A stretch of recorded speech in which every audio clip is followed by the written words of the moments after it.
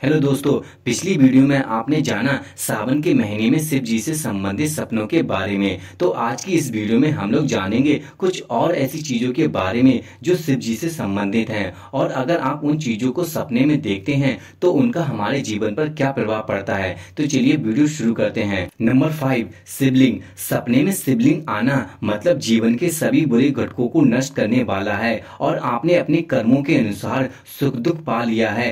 अब आपकी सारी समस्याओं का अंत होने वाला है। नंबर सिक्स शिव जी और माता पार्वती की मूर्ति देखना। दोस्तों, ज्योतिषियों के अनुसार अगर सपने में आपको शिव जी और माता पार्वती जी की मूर्ति दिखाई देती है तो इसका मतलब ये होता है कि आपको पैसे से जुड़ा कोई शुभ समाचार मिल सकता है। नंबर सेवन शिव मंदिर दिखाई देना। दोस्तों, अगर आपको सपने में शिव मंदिर दिखाई देता है तो इसका मतलब ये होता है कि लंबे समय से चली आ रही बीमारी से छुटकारा छुटकारा मिल सकता है। नंबर एट, शिव नृत्य देखना। अगर आप अपने सपने में शिव जी को नृत्य करते हुए देखते हैं तो इसका मतलब होता है आपके लिए धन प्राप्त करने का योग बन रहा है।